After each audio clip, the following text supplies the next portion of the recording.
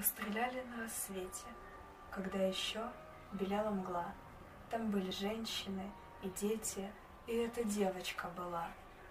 Сперва велели им раздеться, затем к обрыву встать спиной.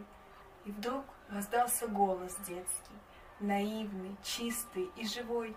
Чулочки тоже снять мне, дядя, не упрекая, не броня, Смотрели прямо в душу глядя трехлетней девочки глаза.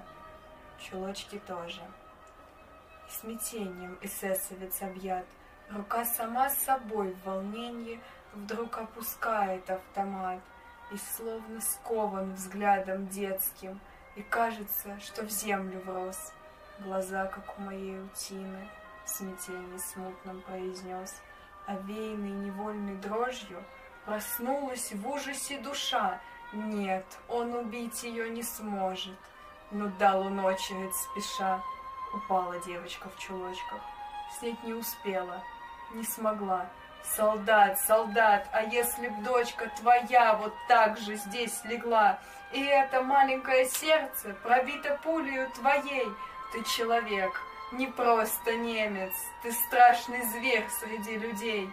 Шагал эсэсовец упрямо, шагал, не подымая глаз. Впервые, может, эта дума в сознании отравленном зажглась, и снова взгляд светился детский, и снова слышится опять, и не забудется вовеки чулочки дядя тоже снять.